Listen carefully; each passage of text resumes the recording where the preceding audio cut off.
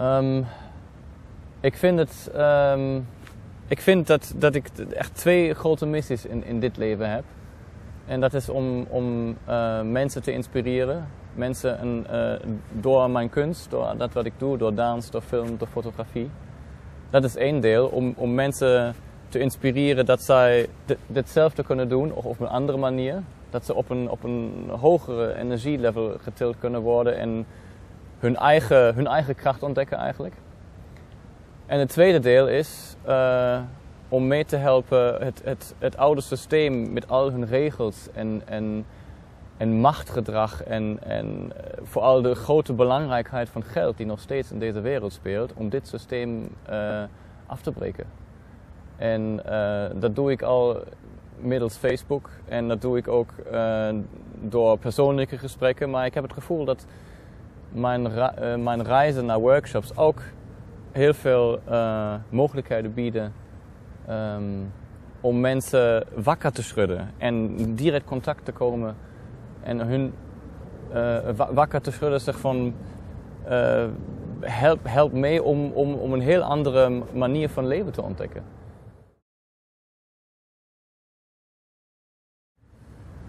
Een belangrijk onderwerp van het oude systeem afbreken is eh, om de belangrijkheid van het geld in deze wereld terug te drukken. Of, eh, ja, en ook het, om het eerlijker te verdelen. En het, het, de grootste eh, criminaliteitsfactor in deze wereld is nog steeds geld. Waarom bestaat er prostitutie? Waarom wordt er drugs, drugs gebruikt? Het gaat allemaal heel erg veel om geld.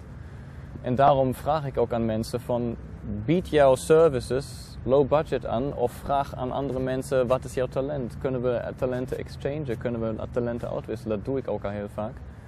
Ja, ik, zie, ik zie geld eh, ook als een vorm van energie, want het is een uitwisseling van energie. Ik doe iets en daarvoor krijg ik een tegenenergie terug. Dat is wel prima.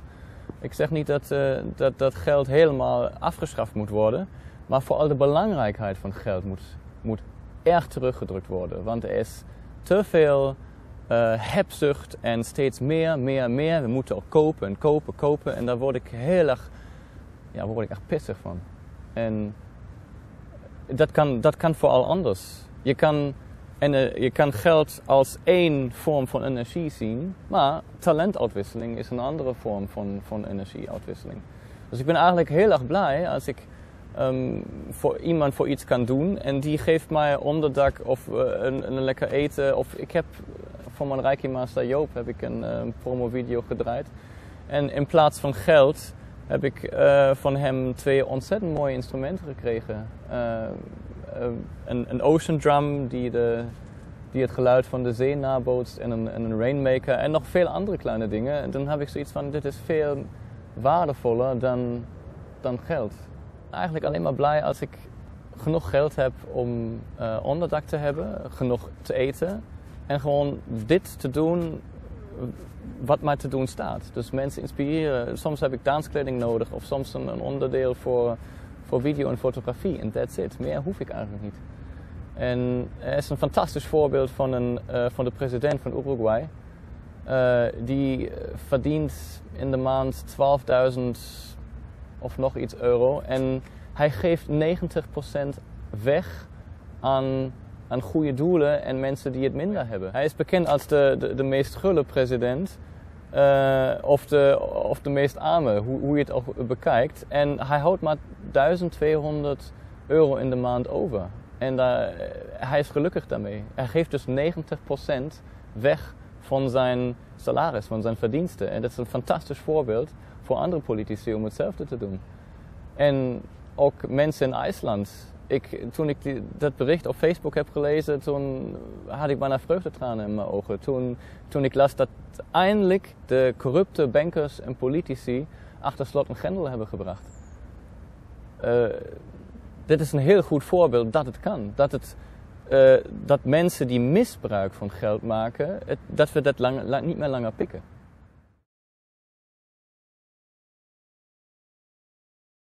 Ik ben er nu ruim 15 jaar in Nederland geweest, waar ook eh, een heel aantal jaren in Amsterdam. Ehm, ik heb heel veel mooie momenten in dit land meegemaakt. Um, uh, toen ik hier aankwam, uh, heb ik mijn dansopleiding in Arnhem, Arnhem gevolgd, op de Dansacademie. Ik heb um, mijn eerste kennismaking met spiritualiteit was hier in dit land. Ik heb heel veel goede momenten doorgemaakt voor mijn, voor mijn danscarrière, verschillende, met verschillende choreografen gewerkt, mijn fotografie ontdekt. Dus er zijn allemaal heel veel mooie momenten in dit land ontstonden die ik niet, misschien niet had kunnen ontwikkelen in, in Duitsland of een andere plek. Dus in die zin ben ik echt heel erg dankbaar dat ik dit land mocht, mocht leren kennen.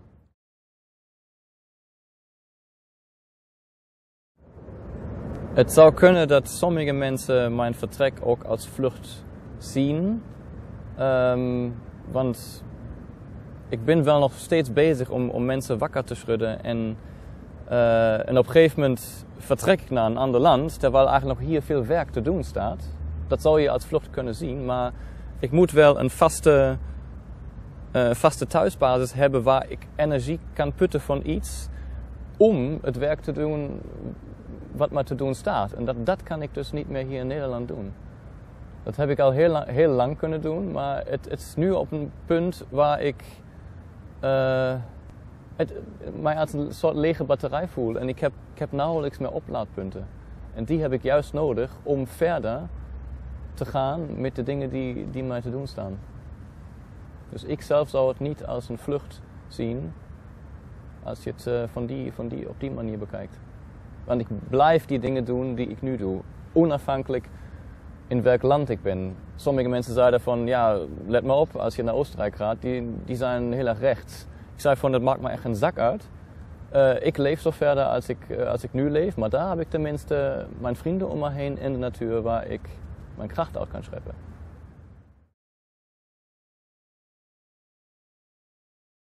Ik heb geen idee hoe de, de maatschappij in Oostenrijk in elkaar zit.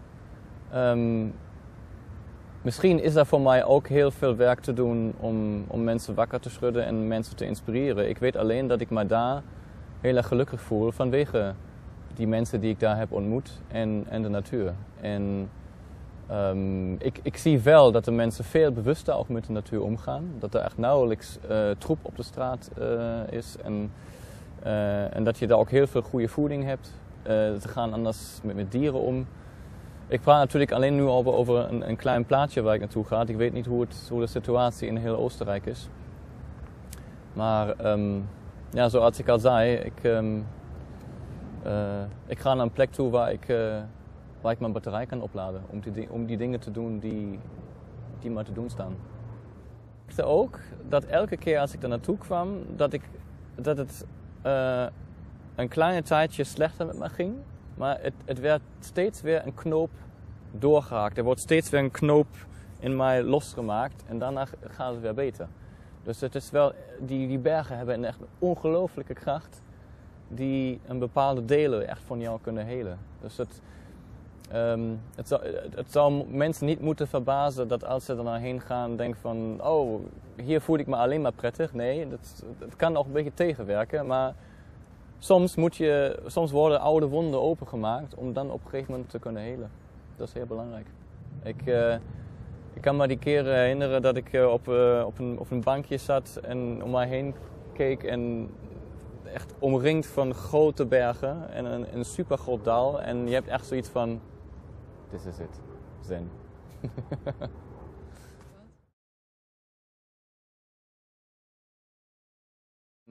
Wat heel belangrijk is voor mij, dat ik vrienden om mij heen heb met die het, met die ik echt een heel diepe band heb. Mensen die ik echt, um, die als familie voor mij voelen. En dat heb ik heel duidelijk in, uh, in Tirol.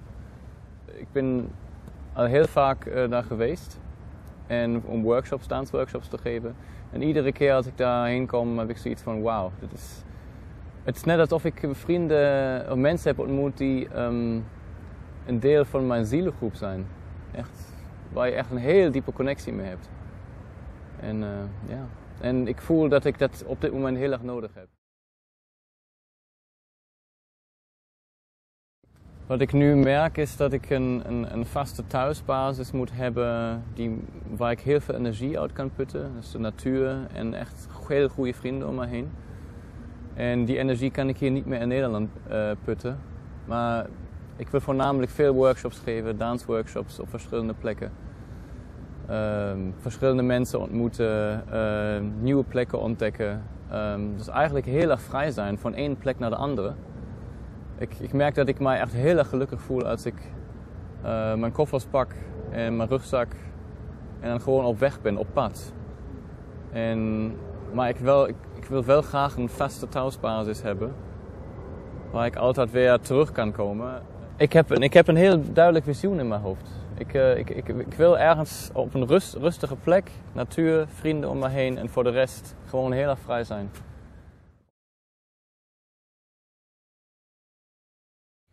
Heel veel mensen hebben um, moeite met loslaten en uh, mij inclusief. Bepaalde dingen zijn ook moeilijk voor mij om, om los te laten, maar ik denk dat, dat heel veel mensen um, eerst iets kunnen loslaten als ze iets anders zekers hebben gepakt of andere zekerheid hebben dat ze daar werk hebben of een uh, onderdak of weet ik veel.